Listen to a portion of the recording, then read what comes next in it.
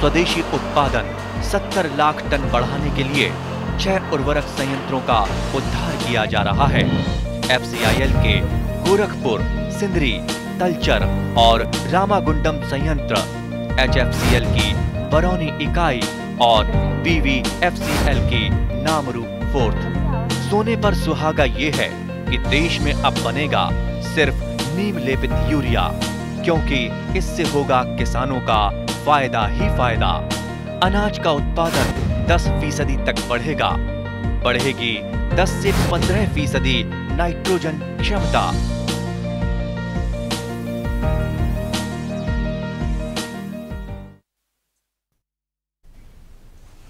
নমস্কাৰ সমূহ কৃষিপ্ৰেমী ৰাইজলৈ প্ৰীতি সম্ভাষণ জনাই আজিৰ কৃষি দৰ্শন অনুষ্ঠানটি আৰম্ভ কৰিবলৈ লৈছোঁ আজিৰ অনুষ্ঠানত আমি আলোচনা কৰিম জীৱ জন্তুৰ আৱিৰ্ভূত বেমাৰ আৰু ইয়াৰ প্ৰতিকাৰসমূহ। এই বিষয়ে আলোচনা কৰিবলৈ আমি আমাৰ ষ্টুডিঅ' মজিয়ালৈ আমন্ত্ৰণ কৰি আনিছোঁ। খানাপাৰাত অৱস্থিত পশু চিকিৎসা বিজ্ঞান মহাবিদ্যালয়ৰ ডিপাৰ্টমেণ্ট অফ ভেটেনেৰী ক্লিনিকেল কমপ্লেক্সৰ সহকাৰী অধ্যাপক ডক্টৰ উৎপল বৰ্মন দেৱক। ডক্টৰ বৰ্মন আপোনাক ষ্টুডিঅ'ৰ মজিয়ালৈ স্বাগতম জনাইছোঁ। আজি আমাৰ আলোচনাৰ লগত সংগতি ৰাখি পশুপালকসকলে আমাৰ লগত পোনপটীয়াকৈ যোগাযোগ কৰিব পাৰিব। আপোনালোকে আপোনালোকৰ সমস্যাসমূহ আমাক জনাব। আমি ষ্টুডিঅ' মজিয়াৰ পৰাই আপোনাৰ সমস্যাৰ সমাধান দিবলৈ চেষ্টা কৰিম। আপোনালোকে আমাক পোনপটীয়াকৈ যোগাযোগ কৰিবৰ কাৰণে ফোন নম্বৰ দুটা ইতিমধ্যে টেলিভিশ্যনৰ পৰ্দাত উপলব্ধ হৈ আছে। ফোন নম্বৰকেইটা মই কৈ দিছোঁ। Nine eight six four eight triple eight nine one আৰু nine four three five zero' four double seven four seven. আহকচোন। আজি আমি আমাৰ আলোচনালৈ আগুৱাই যাওঁ। ডক্টৰ বৰ্মন আমি জানো যে জীৱ জন্তুৰ সময়ে সময়ে বেমাৰ হৈ থাকে আৰু কেতিয়াবা দেখা যায় বহুত দিনৰ মূৰত কিছুমান নতুন বেমাৰে দেখা দিয়ে। গতিকে যিবিলাকক যিবিলাকক আমি আৱিৰ্ভূত বেমাৰ বুলি ক'ব পাৰোঁ। গতিকে এই আৱিৰ্ভূত বেমাৰ আচলতে কি? হয়।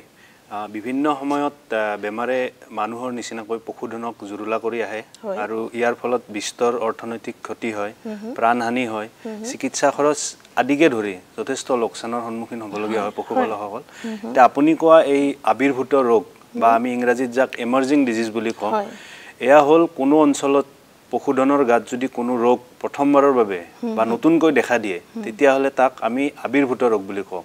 নাইবা সেই বীজাণুটো আগৰ পৰাই আছিল বহুত বেছিকৈ কোনো অঞ্চলত আকৌ হৈছে। তেতিয়াও আমি সেই ৰোগবিলাকক বহু সময়ৰ ব্যৱধানত যেতিয়া এটা বেমাৰে আকৌ দেখা দিয়ে আমি সেইখিনি বেমাৰক আৱিৰ্ভূত আৱিৰ্ভূত ৰোগ বুলি ক'ব পাৰোঁ। তাৰ ভিতৰত কেনেকুৱা ধৰণৰ বেমাৰ আচলতে এই আৱিৰ্ভূত ৰোগ বুলি কোৱাৰ লগে লগে এই সকলোবিলাক ইনফেকচিয়াছ ডিজিজ মূলতঃ বেক্টেৰিয়া ভাইৰাছ প্ৰটোজোৱা নাইবা পেলোজনিত ৰোগ হয়।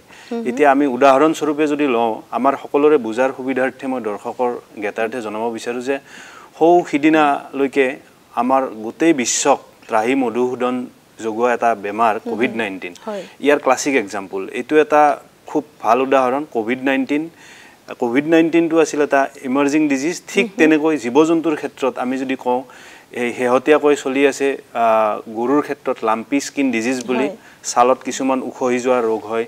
ঠিক তেনেকৈ গাহৰিৰ ক্ষেত্ৰত আফ্ৰিকান ছোৱাইন ফিভাৰ বা ছোৱাইন ফিভাৰো ইমাৰ্জিং ডিজিজৰ ভিতৰত পৰে ঠিক তেনেকৈ ছাগলীৰ ক্ষেত্ৰত ভিতৰতো ক্লাছিকেল সোৱাইন ফিভাৰ অলৰেডি আছিলে কিন্তু আফ্ৰিকান সোৱাইন ফিভাৰটো আমি আৱিৰ্ভূত বেমাৰ খুব নতুনকৈ আহিছে আমাৰ মাজত চৰ্চা হৈছে। আৰু তাৰ বিষয়ে নিউজ বা অন্যান্য আমি পঢ়িবলৈ পাইছোঁ। গতিকে সেইটোক আমি আৱিৰ্ভূত ৰোগৰ কেটেগৰীত ধৰা হৈছে।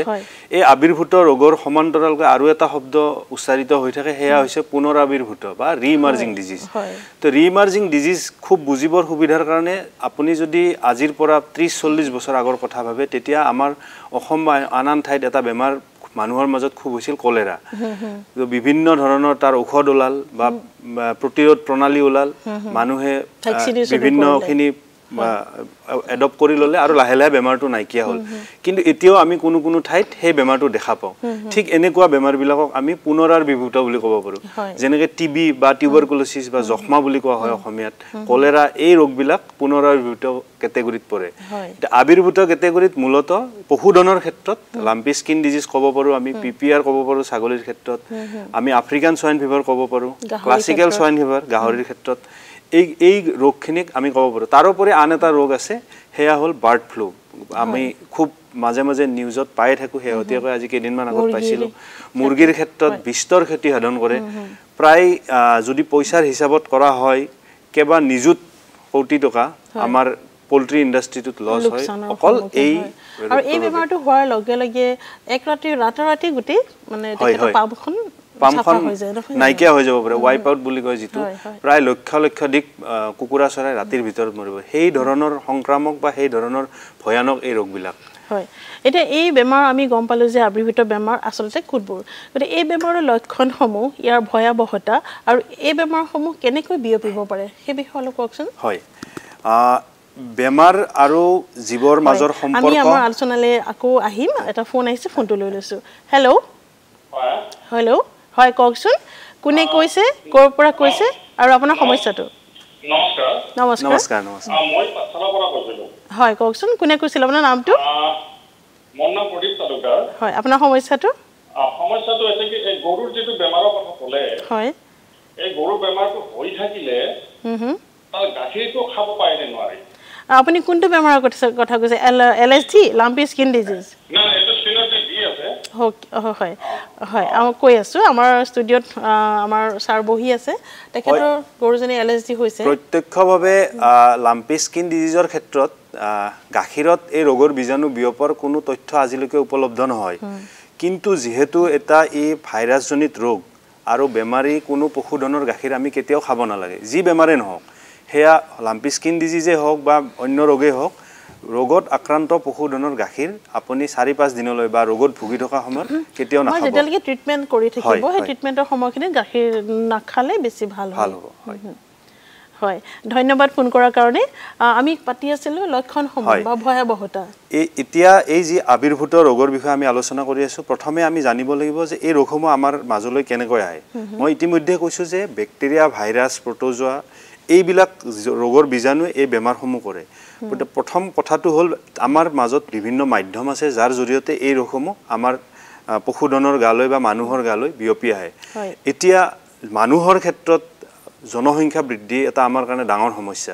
জনসংখ্যা বৃদ্ধি হোৱাৰ লগে লগে আমি এট- ঠাইত থাকিব লগা মানুহৰ সংখ্যাতকৈ জনক যিটো মানে ঘনত্ব সেই ঘনত্বটো বৃদ্ধি পাইছে। গতিকে মানুহে মানুহৰ মাজত সংক্ৰমণ প্ৰৱণতাটো অতি সোনকালে। বিয়পি যায়। সেইটো এটা কাৰণ। দ্বিতীয় কাৰণ হৈছে আমি যেতিয়া জনসংখ্যা বৃদ্ধি হোৱাৰ কাৰণে যধে মধে য'ত ত'ত ঘৰ বনাবলগীয়া হৈছে গতিকে জনাঞ্চল যিখিনি আছিল জীৱ জন্তুৰ আশ্ৰয়স্থলী সেইবিলাক আমি ধ্বংস কৰিছোঁ। বনাঞ্চল। গতিকে বনাঞ্চলৰ পৰা বনৰীয়া জীৱ জন্তু আহি আমাৰ মাজলৈ আহিছে। আৰু। তেওঁলোকৰ এই জীৱ জন্তুবিলাকৰ লগত বিভিন্ন ভাইৰাছ বেক্টেৰিয়া মানুহৰ জনাঞ্চললৈকে আহিছে। তাৰ উপৰি আমাৰ যি খাদ্যজাত বিভিন্ন সামগ্ৰী তাৰ জৰিয়তে কিছুমান ৰোগ বিয়পিব পাৰে। যেনে গাখীৰ খাওঁ আমি জীৱ জন্তুৰ মাংস খাওঁ। এতিয়া অলপ আগতে তেখেতে যে সুধিছে যদি বেমাৰী জীৱ জন্তুৰ পৰা আমি যেতিয়া গাখীৰ খীৰাই বেলেগ ঠাইলৈ লৈ যাওঁ এই গাখীৰৰ বাচন নাইবা বিভিন্ন প্ৰক্ৰিয়াৰে বীজাণুটো এঠাইৰ পৰা আন এঠাইলৈ যাব পাৰে। আনহাতে অনিয়ন্ত্ৰিত মুভমেণ্ট যিটো জীৱ জন্তুৰ ক্ষেত্ৰত এখন ৰাজ্যৰ পৰা আন এখন ৰাজ্যলৈ। আগতে আমাৰ অসমলৈ বাহিৰৰ পৰা জীৱ জন্তু ইমান অহা নাছিল। কিন্তু বৰ্তমান সময়ত এণ্টাৰপ্ৰিনাৰশ্বিপ বা এই ধৰণৰ ধাৰণা আহিছে। গতিকে বাহিৰৰ উন্নত জাতৰ বিভিন্ন ছাগলী হওক গৰু হওক গাহৰি হওক। বাহিৰৰ পৰা আহিছে। তো তাৰ লগে লগে আহিছে তাৰ লগে লগে আমাৰ এই ৰোগৰ বীজাণুবিলাক আমাৰ মাজলৈকে আহিছে। ইয়াৰ উপৰিও বিভিন্ন বাহক যেনে ধৰক আমি যদি কওঁ মহ মাখি এনেকুৱা ধৰণৰ বস্তুবিলাকৰ উপদ্ৰৱ আমাৰ এই অঞ্চলত বেছি যিহেতু অসমত হিউমিডিটি বা আৰ্দ্ৰতা অতি বেছি। আৰু এই কাৰণে মাখি মহৰ উপদ্ৰৱৰ জৰিয়তেও বিভিন্ন বেমাৰ বিয়পে। তাৰোপৰি আমি আটাই জানো যে কুকুৰ শিয়াল আদি জীৱ জন্তুৱে কামোৰাৰ ফলত কিছুমান ৰোগ বিয়পে যেনে জলাতংক তেনেকুৱা এবিধ ৰোগ গতিকে এই বিভিন্ন ধৰণৰ মাধ্যমৰ জৰিয়তে এই ৰোগসমূহ তাৰ উৎসৰ পৰা আমাৰ গালৈ মানুহ নাইবা জীৱ জন্তুৰ গালৈ বিয়পিব পাৰে।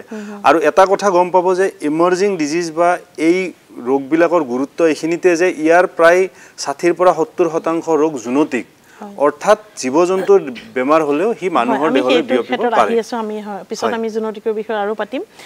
এতিয়া মোক আপুনি কওকচোন যে আমি চিমটম গম পালোঁ মানে লক্ষণসমূহ গম পালোঁ ইয়াৰ ভয়াৱহতা গম পালোঁ। গতিকে এই আৱিৰ্ভূত বেমাৰখিনিৰ প্ৰতিকাৰ কি কি? বা। আমি মেনেজমেণ্ট কেনেকৈ কৰিব লাগিব যাতে বেমাৰখিনিৰ পৰা আমি মুক্ত হ'ব পাৰোঁ? প্ৰতিটো ৰোগৰে নিৰ্দিষ্ট লক্ষণ আছে। সেই লক্ষণ অনুযায়ী আমি তাক চিনাক্ত কৰিব পাৰোঁ। আৰু ৰোগৰ প্ৰতিৰোধ বা তাক যেতিয়া কণ্ট্ৰলৰ কথা আহিব এটা কথা আমি মনত ৰখা উচিত যে জীৱ জন্তুৰ ফোনটো লৈ হয়। লৈছোঁ আকৌ আহি আছোঁ। হেল্ল' হেল্ল' হেল্ল' হয় কওকচোন কোনে কৈছে? ক'ৰ পৰা কৈছে? আৰু আপোনাৰ সমস্যাটো কওক। মই ডক্টৰ আজিজুৰ ৰহমানে কৈ আছোঁ হয়। হাজোৰ পৰা কৈ আছোঁ। হয় হয় কওকচোন আপোনাৰ সমস্যাটো কি? হয় মই হাজোৰ পৰা কৈছোঁ মই এজন পশু চিকিৎসা। মহাবিদ্যালয়ৰ ছাত্ৰ ইণ্টাৰ্ণী ছাত্ৰ। হয় হয়। মই ডক্টৰ বৰ্মন ছাৰক এটা প্ৰশ্ন কৰিব বিচাৰোঁ। বৰ্তমান সময়ত মানে উভ সংক্ৰমণৰ ওপৰত যথেষ্ট গুৰুত্ব আছে। হয়। উভ সংক্ৰমণ আহ, তাৰ কাৰণে আমি পৰ জুডিচিছ ডে বুলি আমি গমেই পাওঁ। হুম হুম আহ, গতিকে এই সংক্ৰান্তত তেখেতে উভ সংক্ৰমণ দিৱসটোৰ বিষয়ে অকণমান ক'লে। হয়তো আমাৰ শ্ৰোতাবৃন্দ তথা দৰ্শকবৃন্দই উপকৃত হ'ব বুলি মই ভাবোঁ আৰু মই নিজে বহুখিনি জানিব লগা আছে। সেইকাৰণে মই ডক্টৰ বৰ্মন ছাৰক মই অনুৰোধ জনাইছোঁ হয়। আপোনাৰ জৰিয়তে। উম, উম, ধন্যবাদ ফোন কৰাৰ কাৰণে। আমি আপোনাৰ প্ৰশ্নৰ উত্তৰ দিবলৈ চেষ্টা কৰিম। হয় যিটো উভয় সংক্ৰমণ দিৱস আমি যিটো ছয় জুলাইত আমি গোটেই বিশ্বজুৰি পালন কৰা হয় নহয় জানো? গতিকে এই উভয় সংক্ৰমণ দিৱসটো আচলতে কি? বা এই দিৱসৰ তাৎপৰ্য পশুপালনৰ লগত কেনেদৰে জড়িত হৈ আছে? হয় মই তেখেতক ধন্যবাদ জনাইছোঁ। খুব গুৰুত্বপূৰ্ণ প্ৰশ্ন এটা তেখেতে উত্থাপন কৰিছে। উভ সংক্ৰমণ বা জুনচিছ মানুহৰ পৰা জীৱ জন্তুলৈ নাইবা জীৱ জন্তুৰ পৰা মানুহলৈ আমি সাধাৰণতে সদায় জীৱৰ পৰা মানুহলৈ বিয়পাটোৱে আলোচনা কৰোঁ। কিছুমান এনেকুৱা ৰোগো আছে যে মানুহৰ পৰা জীৱলৈকে বিয়পিব পাৰে। আজি দুই তিনি বছৰ আগতে ক'ভিড নাইণ্টিনৰ সময়ত এই কথাটো খুব চৰ্চা হৈছিল যে থাইলেণ্ডৰ থাইলেণ্ডৰ এখন চিৰিয়াখানাত সিংহৰ দেহত ক'ভিড নাইণ্টিন যেতিয়া পোৱা গৈছিল সন্দেহ কৰা হৈছিল যে এয়া মানুহৰ পৰা- সংক্ৰমিত হৈছে। এতিয়া উভ সংক্ৰমণ দিৱস বা উভ সংক্ৰামক দিৱসটো পালন কৰা হয় ছয় জুলাই তাৰিখে। ইয়াৰ এটা বিশেষ তাৎপৰ্য আছে সেয়া হ'ল যে ওঠৰশ পঁচাশী চনৰ ছয় জুলাইৰ দিনা লুই পেচিয়ৰ বিজ্ঞানৰ ছাত্ৰ প্ৰত্যেকজনেই জানিব লুইচ পেচিয়ৰ কোন হয়। তেওঁ জলাতংক ৰোগৰ চিতা তেওঁ যি নিজে বনাইছিল যি উদ্ভাৱন কৰিছিল সেই চিতা এজন ৰোগীৰ দেহত প্ৰদান কৰিছিল। আৰু সেইটো মানৱ জাতিৰ কাৰণে এটা আশীৰ্বাদ স্বৰূপ। এই জলাতংকৰ নিচিনা ভয়াৱহ ৰোগৰ পৰা আমি যে আজি বাচি আছোঁ যি চিতা আমি ল'ব পাৰিছোঁ এই চিতাৰ প্ৰথম ত্ৰাণকৰ্তা পিতৃপুৰুষ আছিল লুই পেচিয়ৰ। আৰু তেখেতৰ মহান কৰ্মক সাৰগত কৰি সেই মহান কৰ্মক চিৰস্মৰণীয় কৰি ৰখাৰ উদ্দেশ্যে তথা জনমানসত এই ৰোগবিলাকৰ বিষয়ে সজাগতা সৃষ্টিৰ অৰ্থে ছয় জুলাই দিনটো বিশ্ব উভ সংক্ৰমণ দিৱস হিচাপে পালন কৰা হয়। ইতিমধ্যে মই কৈছোঁ যে জীৱ জন্তুৰ পৰা আমাৰ গালৈ বিভিন্ন ৰোগ আহিব পাৰে। গতিকে এই ক্ষেত্ৰত আহ, উভ সংক্ৰমণ দিৱস পালন কৰাৰ উদ্দেশ্য এয়ে যে জীৱ জন্তুৰ সুস্বাস্থ্যৰ জৰিয়তে আমি মানৱৰ সুস্বাস্থ্য নিশ্চিত কৰিব পাৰোঁ। যদি জীৱ আমি- যদি জীৱ জন্তুৰ স্বাস্থ্য যদি আমি ভালে ৰাখোঁ।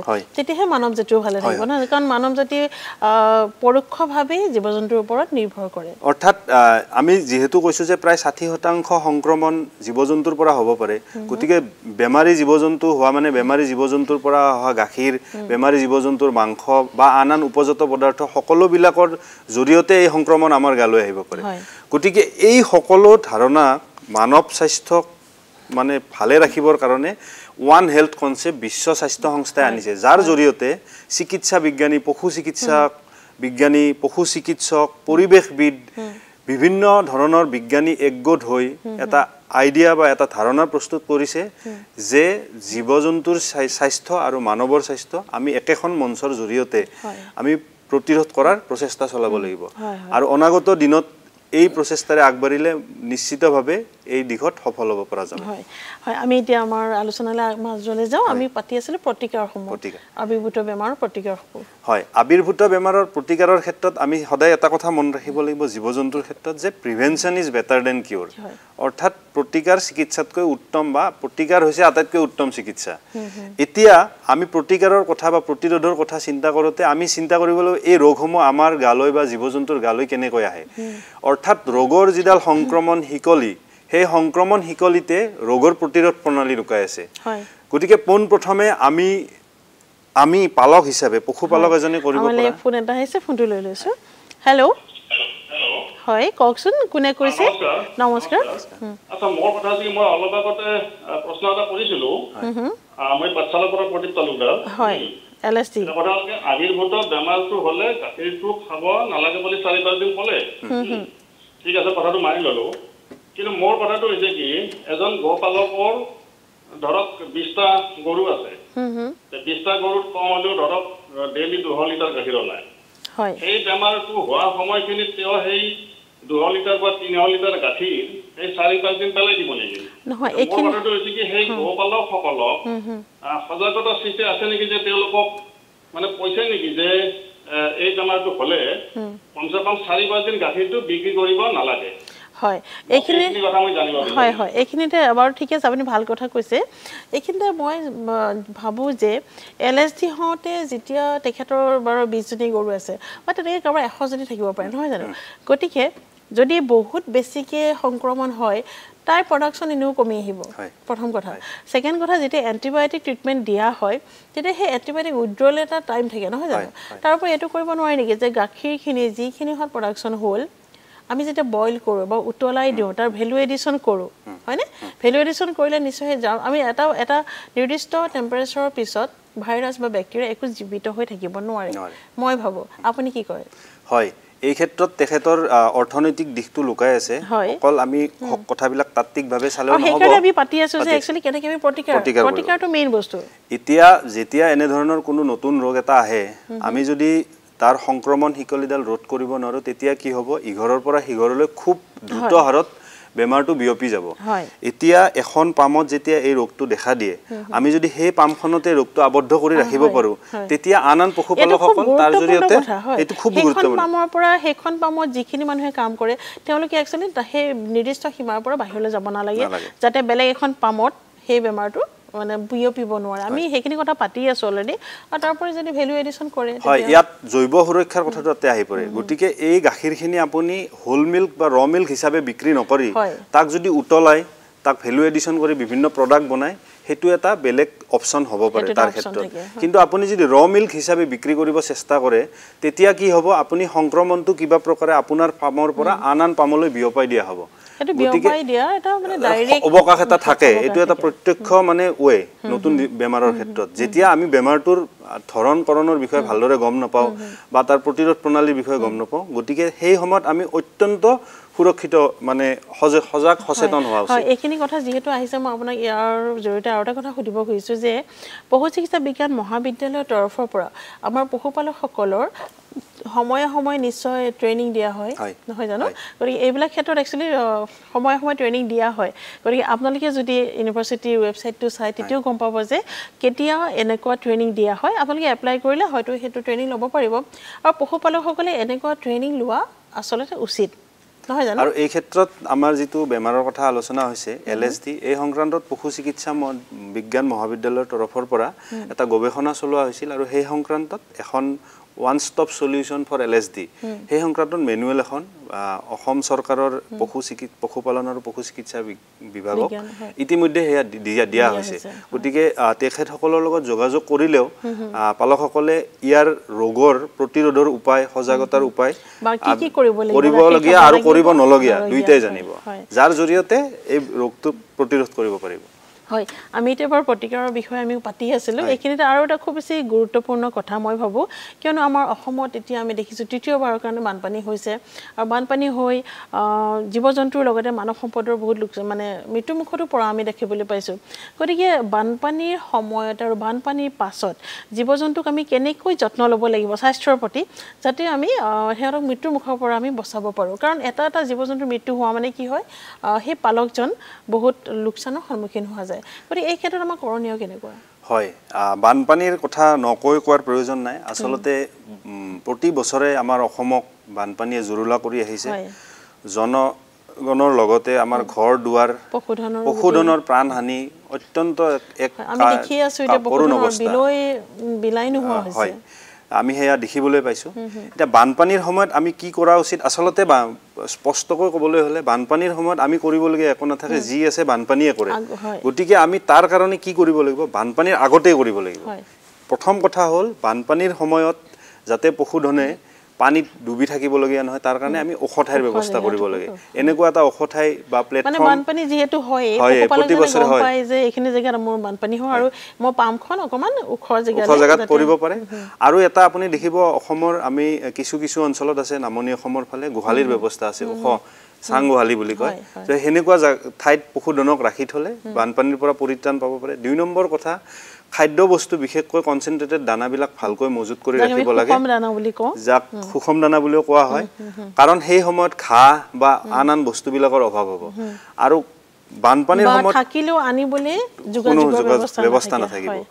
আৰু আমি সেই সময়ত সুবিধা ল'ব পাৰোঁ ফিড ব্লক বা চাইলেজ এনেকুৱা ধৰণৰ পদ্ধতিৰ জৰিয়তে আমি পশুধনৰ খাদ্যৰ ব্যৱস্থা কৰিব পাৰোঁ। তাৰোপৰি আমি বিভিন্ন গছৰ পাত আমি খুৱাব পাৰোঁ। আৰু ইয়াৰ উপৰিও বানপানী বা নাহিলেও বাৰিষাৰ সেই সময়ছোৱাত উদ্ৰতা আৰ্দ্ৰতা তথা টেম্পাৰেচাৰ বা উষ্ণতাৰ বাবে বিভিন্ন ৰোগে দেখা দিয়ে। যেনে গলফুলা চবকা জহৰবাত এই ৰোগসমূহ মাৰমুখী ৰোগ কিছুমানে ৰোগ প্ৰাণহানি ঘনাই ঘটাই আন কিছুমানে প্ৰডাকশ্যন লছ কৰে। গতিকে বানপানীৰ ঠিক আগে আগে বা বাৰিষাৰ আগে আগে ফেব্ৰুৱাৰী মাৰ্চ মাহত পশুধনক এই ৰোগসমূহৰ চিটা দিয়াব লাগে। ঠিক বান আপুনি আৰু এটা কথা কৈছিল যে বানপানীৰ পিছত আমি কি কৰিম? পানী যোৱাৰ পিছত আন এটা সমস্যা দেখা দিয়ে। বহুদিন ধৰি জলমগ্ন হৈ আছিল বা ঘাঁহ বা এইবিলাক গেলি পচি যায় পশুধনে খাব পোৱা নাছিল ভালকৈ। এৰি দিয়াৰ লগে লগে সেইবিলাক গৈ তেওঁলোকে খাব। গতিকে খাই তেওঁলোকৰ বিভিন্ন বিষক্ৰিয়া হ'ব। গতিকে যাতে সেইটো খাব নোৱাৰে তাৰ ব্যৱস্থা কৰিব লাগে। দুই নম্বৰ কথা বিভিন্ন পেলুজনিক সংক্ৰমণ হোৱাৰ চান্স থাকে। গতিকে এই পেলুজনিত সংক্ৰমণৰ বাবে ওচৰৰ পশু চিকিৎসালয়ৰ লগত যোগাযোগ কৰিব লাগে। হয় বা ডিৱৰ্মিং আমি যাক কওঁ পেলুৰ সময়ে সময়ে যিটো পেলুৰ দৰৱ খুৱাব লাগে সেইটোতো খুৱাবই লাগিব নহয় জানো? গতিকে আমি আৰু এটা কথা পাতি আছিলোঁ যে স্বাস্থ্যৰ সম্পৰ্কে চিতাকৰণৰ কথা আপুনি ক'লে নহয় জানো? গতিকে এই চিতাকৰণ আমি অকণমান বিশদভাৱে কওকচোন আমি কিয় কৰিব লাগে বা জীৱ বিশেষে চিতাকৰণ বেলেগ বেলেগ হয় সিহঁতৰ ড'জ বেলেগ হয় আৰু কিমানটা ডিউৰেশ্যনৰ মূৰত চিতাকৰণ কৰিব লাগে তাৰ বিষয়ে অকণমান থুলমূলকৈ কওকচোন। হয় আহ, ৰোগ। বা তাৰ মাজতে মই সুধিব খুজিছোঁ যে যিটো আমি আফ্ৰিকান চুৱাইন ফিভাৰ বুলি কৈছোঁ সেই আফ্ৰিকান চুৱাইন ফিভাৰৰ এগেইনষ্টত ভেকচিনেশ্যন আছে নেকি বা চিটাকৰণ কৰিব পাৰি? আফ্ৰিকান চোৱাইন ফিভাৰৰ বৰ্তমানলৈকে কোনো চিটা বজাৰত উপলব্ধ হোৱা নাই কিন্তু বিভিন্ন গৱেষণা চলি আছে হয়তো অচিৰে তাৰ চিটা বজাৰত উপলব্ধ হ'ব। যিহেতু এই ৰোগৰ কোনো চিটা নাই এই ক্ষেত্ৰত এই ৰোগ প্ৰতিৰোধৰ কাৰণে একমাত্ৰ অস্ত্ৰ হৈছে আমাৰ হাতত জৈৱ সুৰক্ষা। যাক আমি বায়'চিকিউৰিটি বুলি কওঁ। বায়'চিকিউৰিটিৰ শুনাত বহুত সাংঘাতিক শব্দ কিন্তু পালকসকলে প্ৰায়ে কৰি থাকে। গতিকে বায়'চিকিউৰিটি এনে এটা প্ৰক্ৰিয়া যাৰ জৰিয়তে আপুনি ৰোগৰ বীজাণুক আপোনাৰ পামখনত অহাত বাধা দিব পাৰে। কেনেকৈ কিছুমান সৰু সৰু বা অতি সূক্ষ্ম দৃষ্টিভংগী আপুনি অৱলম্বন কৰি বায়'চিকিউৰিটি মেজাৰ্ছ বা জৈৱ সুৰক্ষা অৱলম্বন কৰি এই ৰোগৰ পৰা বাচি থাকিব পাৰে। কেনেকৈ? কোনো মানুহক সকলো বাহিৰা মানুহক আপুনি পামত প্ৰৱেশ কৰিব নিদিব। ডাইৰেক্টলি কেতিয়াও সোমাব দিব নালাগে। পামৰ বাহিৰত এটা ফুটবাথ ৰাখিব য'ত পটেছিয়াম পাৰমাংগানেট বা চলিউশ্যন থাকে যাতে তাত ভৰিখন ডুবাইহে ভিতৰলৈকে আহে। হয়। আৰু ফোন এটা আহিছে ফোনটো লৈ লৈছোঁ। Hello hello hello. মেডাম মই আহ, আজিজুৰ ৰহমানে কৈ আছো হাজোৰ হয়, পৰা। পশু চিকিৎসা হয়। বিজ্ঞান মহাবিদ্যালয় ইণ্টাৰনেশ্যনেল হয়, কৈ হয়। আছো হয়, মোৰ কওকচোন। মনত আৰু এটা প্ৰশ্ন এটা মানে আহিছে। আহ, মানে এটা সুন্দৰ মানে এটা অভিজ্ঞতা আপোনালোকৰ পৰাই মই পাইছো মানে চাই কাৰণে মোৰ প্ৰশ্নটো হ'ল মানে বৰ্তমান সময়ত যিহেতু আমি বানে ধোৱা অসম বুলি গম পাওঁ বা বানপানীৰ বহুত জৰুৰা পৰিছে এই ক্ষেত্ৰত বেছিকৈ মেডাম মানে আমাৰ জলাতংক ৰোগটো বেছি হোৱা দেখা যায় জীৱ জন্তুৰ ক্ষেত্ৰত।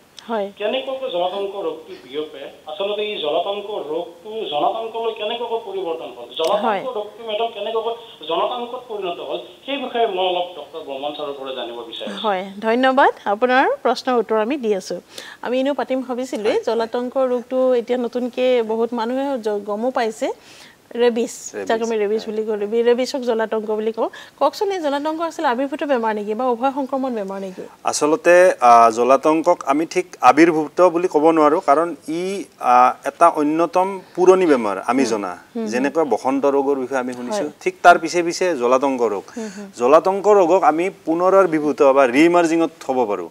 কিয়নো এটা উদাহৰণ আছে যে কষ্টাৰিকা নামৰ দেশখনত একত্ৰিছ বছৰৰ বিৰতিত জলাতংক ৰোগ দেখা দিছিল। একত্ৰিছ বছৰ নাই মাজত। আকৌ একত্ৰিছ বছৰ বিৰতিত হ'ল। ৰিইমাৰ্জিং লগতে ই এটা জুনটিক ডিজিজ বা উভ সংক্ৰামক ডিজিজ ইয়াৰ গুৰুত্ব এইটোৱে যে এই ৰোগৰ কোনো চিকিৎসা নাই লক্ষণ দেখা দিয়াৰ পিছত। মানুহ সাপেক্ষে মানুহকে ধৰি সকলো উষ্ণ ৰক্তি প্ৰাণীৰ দেহত এই বেমাৰটো হয়। আৰু তেখেতে সোধাৰ নিচিনাকৈ যে বানপানীৰ লগত এই ৰোগৰ অলপ প্ৰাদুৰ্ভাৱৰ এটা বিশেষ সম্পৰ্ক আছে। কাৰণ গাঁও অঞ্চলত আপুনি যেতিয়া দেখিব য'ত য'ত গাঁও বুলি কথা নাই য'ত বানপানী হৈছে বানপানী হোৱাৰ লগে। লগে আমি কি কৰোঁ গৰু ছাগলী মানুহ কুকুৰ আমি এটা এটা ঠাইতে আহি যাওঁ। খুব কম ঠাইত আহিবলৈ বাধ্য হৈ যাওঁ। সহাৱস্থান কৰিবলগীয়া। তাৰ লগে লগে আপুনি দেখিব বানপানীয়ে বুঢ়াই পেলোৱা আশ্ৰয়স্থলৰ পৰা শিয়ালবিলাক ওলাই আহিব। এনেকুৱা যিবিলাক কুকুৰ শিয়াল আদি জীৱ জন্তু যাৰ চেলাই ভাত আচলতে এই ৰোগৰ বীজাণুটো থাকে। তো সি- সেইবোৰে যদি ছাগলীক কামুৰিলে নাইবা ডামুৰি বা গৰুক কামোৰে এই ৰোগৰ বীজাণুটো ডাইৰেক্ট তেওঁলোকৰ গালৈ আহি যায়। গতিকে বানপানীৰ ঠিক পিছে পিছে আমি জলাতংক ৰোগৰ প্ৰাদুৰ্ভাৱ খুব সাংঘাতিকভাৱে দেখা দিওঁ দেখা পাওঁ। সেইকাৰণে বানপানীৰ গৰু কামোৰে তাৰ। মানুহলৈ আহিব পাৰে। গতিকে সাৱধানতা আমি যথেষ্ট অৱলম্বন কৰা উচিত। বানপানীৰ সময়ত বিভিন্ন ধৰণৰ সাহাৰ্য বা কিবাৰ জৰিয়তে আমি বানপানীৰ উপদ্ৰৱৰ পৰা বাচিব পাৰোঁ। কিন্তু বানপানীৰ পিছে পিছে হয় আচলতে জলাতংক শব্দটো আহিছে ইংৰাজী। হাইড্ৰফবিয়া। অৰ্থাৎ জলাতংক যদি আমি ভাঙি কওঁ পানীত আতংক। অৰ্থাৎ পানীত। আচলতে কি হয় পানী দেখিলে ভয় নাখায়। পানী যেতিয়া খাব দিওঁ তেওঁ গিলিব নোৱাৰে। পেচেণ্ট যিবিলাক ৰোগী আছে তেওঁলোকে গিলিব নোৱাৰে কাৰণ তেখেতসকলৰ এই ডিঙিৰ মাংসপেশীটো পেৰালাইচিছ হৈ যায়। আৰু সেইটো পানীত ভয় কৰা লক্ষণৰ নিচিনা হয় কাৰণে ইয়াক জলাতংক বুলি কোৱা হয়। কাৰণ যিহেতু গিলিব নোৱাৰে গতিকে পানী দেখিলে ভয় খাই। যায়। এতিয়া এই জলাতংক ৰোগটোত আমি ভয় খাই আতংকিত হোৱাৰ কোনো দৰকাৰ নাই তেখেতে কোৱাৰ নিচিনাকৈ জনাতংকত পৰিণত হ'ব নালাগে। কাৰণ এই ৰোগৰ ভেকচিন আছে ভেকচিন লৈ আমি ইয়াক প্ৰিভেণ্ট কৰিব পাৰোঁ। হয় যেতিয়াই- ভাল খবৰ যে জলাতংকৰ এই, বিপৰীতে আমি ভেকচিন ল'ব পাৰোঁ জানো? হয়। জলাতংকৰ ক্ষেত্ৰত আমি যেতিয়াই আমি কুকুৰৰ কামোৰ বা অন্যান্য জীৱ জন্তু যিয়ে ৰেবিজ ৰোগ বিয়পাব পাৰে সেনেকুৱা আচুৰ বা কামোৰ খাইছোঁ নিৰ্দিষ্ট তাৰ চিডিউল অনুযায়ী। চিটা আছে। সেই চিটা বা ভেকচিন ল'লে আপুনি এই ৰোগৰ পৰা বাচি থাকিব পাৰিব বা পৰিত্ৰাণ পাব। হয় হয়। এইটো এটা বহুত মানে জানিবলগীয়া কথা। আমি আচলতে আমাৰ সময় হৈ আহিছে। আমি বহুত কম সময়ৰ ভিতৰতে আৱিৰ্ভূত বেমাৰনো কি? এই বেমাৰসমূহৰ লক্ষণ কি? এই বেমাৰৰ ভয়াৱহতা কি? বা কেনেকৈ ইটোৰ পৰা সিটোলৈ বিয়পিব পাৰে? উভয় সংক্ৰমণ বেমাৰ কি? আৰু তাৰোপৰি মোৰ পশুপালকসকললৈ এটা অনুৰোধ থাকিব যে খানাপাৰাত অৱস্থিত পশু চিকিৎসা বিজ্ঞান মহাবিদ্যালয়ত আপোনালোকে আহিলে বা আমাৰ ইউনিভাৰ্চিটিৰ ৱেবছাইটটো চালেও গম পাব যে আমাৰ সময়ে সময়ে আমি প্ৰশিক্ষণ দি থকা যায়। গতিকে প্ৰশিক্ষণসমূহ প্ৰশিক্ষণ যদি তেওঁলোকে লয় নিশ্চয়কৈ বহুতখিনি উপকৃত হ'ব। গতিকে মই ডক্টৰ বৰ্মন আপোনাক ধন্যবাদ জ্ঞাপন কৰিছোঁ। আপুনি আমাৰ ষ্টুডিঅ'ৰ মজিয়ালৈ আহিলে আমাৰ লগত আলোচনাত আহ, অংশগ্ৰহণ কৰিলে। আৰু মই সেইসকলকো ধন্যবাদ জ্ঞাপন কৰিছোঁ যিয়ে আমাক আজি ফোন কৰিলে। আৰু মই আশা ৰাখিছোঁ ভৱিষ্যতে পুনৰ লগ পাম। আজিলৈ ইমানতে সামৰিছোঁ। নমস্কাৰ। ধন্যবাদ।